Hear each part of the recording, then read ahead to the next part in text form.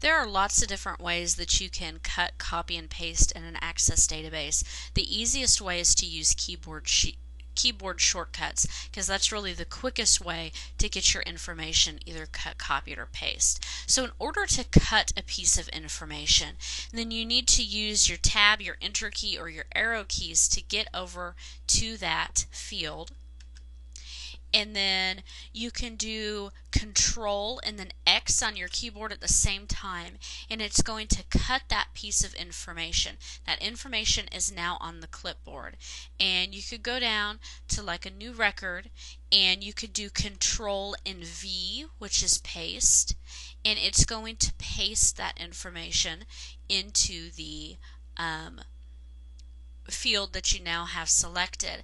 Now if you just want to copy a piece of information, use my arrow to get back up there. I can do control C. It's not going to cut it, it's going to leave CEO there. Go down below and then do my control V for paste and it's going to paste that um, what I just copied into the selected field. So that's a quick way to use cut, copy, and paste while you're in Access.